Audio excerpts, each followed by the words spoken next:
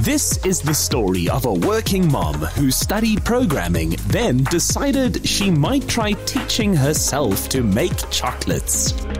Hi there, I'm Stephanie and I'm the executive chocolatier here at Jackrabbit Chocolate Studio. Welcome to our lab. We're artisanal chocolatiers creating chocolate art from high quality ingredients. We try to make unique pieces of art that are edible and beautiful. Everything that we do from bars to bonbons and our chocolate coated products is always a new chocolate experience. I love everything about chocolate. I love the way that it smells, the way that it tastes, the way that it makes you feel when you eat it, when you receive it, when you give it as a gift. When you work with it, how it's so technically challenging. It's like a teenager, that it has a mind of its own, and that you think that you know everything about chocolate, but you don't. There's just lots of influences that can change the way that you are going to have to work with the chocolate on that day. If it's too humid, if it's too hot, if it's too cold, if the air is too dry, if you warmed it up too quickly, if you warmed it up too slowly, if you worked with it too slowly.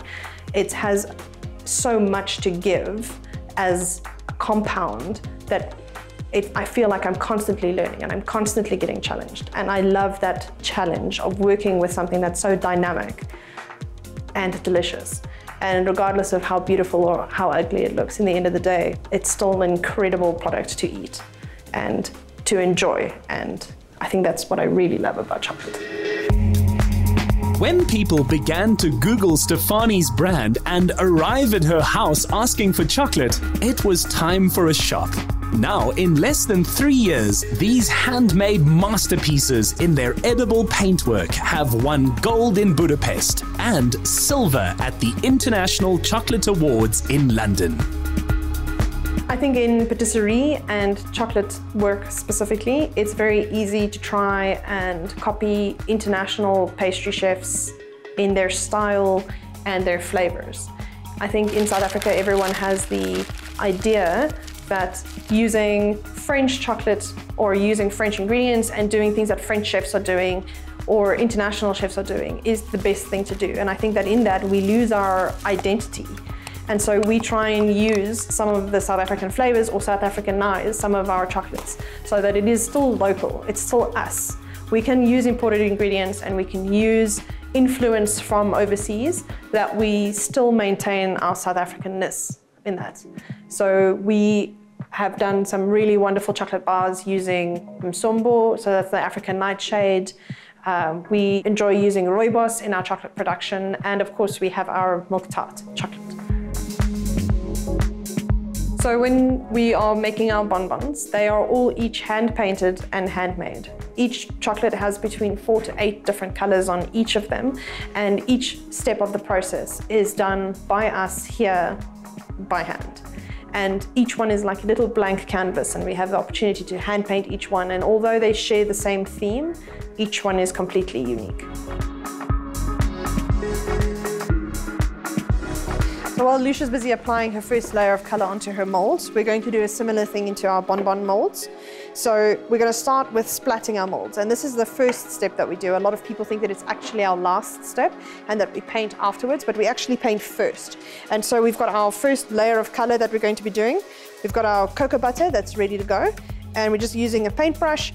And all we're going to be doing is splatting some color into the mold. So now what we're going to do is we're just going to do quite a free, natural swish inside the molds with our color and we can just turn it around and then we can see the effect so far. So once you've finished painting all of your chocolate molds and you're ready to proceed, the next step is tempering, which is what Christy's starting to do over here. So her temperature of the chocolate that's in the bowl is at T1, which is our highest temperature. So we use this motion where we spread it out onto the table and we bring it back together so that we can cool it rapidly all at the same time so that we don't have some patches that are over tempered and some that are under tempered because we don't want uneven crystallization of the chocolate. So chocolate has a lot of ups and downs as well. It's not the perfect thing that everybody just imagines working with chocolate. It is very physical. It is a lot of working, it's a lot of standing, it's a lot of moving around. So it basically is CrossFit in a kitchen. Just a little sneak peek for a new product that we've got is in partnership with Pavoni Italia as their brand ambassador. They've sent us this adorable little shoe mold, and then what we've done is we've just spiced it up with some Jackrabbit style.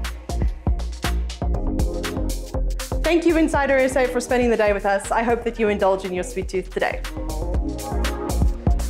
As bold in spirit as her chocolates are in flavor, Stephanie's currently exporting to Japan, and if all goes to plan, they will be listed in Harrods within a year.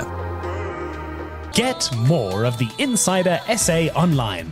Follow, connect, engage, and be inspired to live better with the Insider SA.